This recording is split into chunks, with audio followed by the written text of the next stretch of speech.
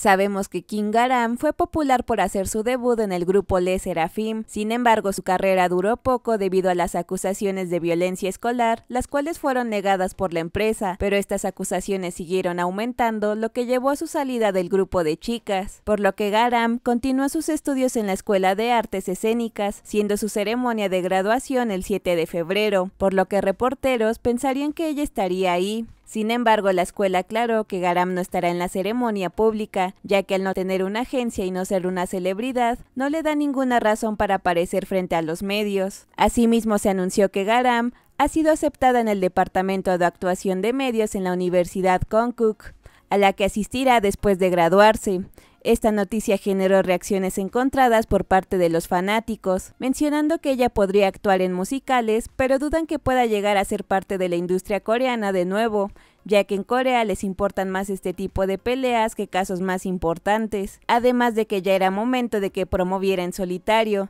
ya que de esta manera sus errores solo le afectarán a ella y nadie más, aunque si se preguntan qué compañía la hará debutar como actriz, ya que algunos siguen creyendo en su inocencia y otros en que fue culpable. Asimismo se hizo popular en un foro coreano donde un internauta preguntó que si ella no se hubiera ido, sería tan popular como lo es ahora, ya que cree que en términos de popularidad estaba a nivel de Jenny de Blackpink. Asimismo otros afirmaron que su visual era igual al de Sorion de N-Mix, por lo que internautas pensaron que sería un gran problema para Yoonjin y Unche si Garam continuara en Le Serafim, pensando que ellas no serían tan populares como lo son ahora, incluso pensando que ella pudo hacer que Le Serafim sean un grupo top.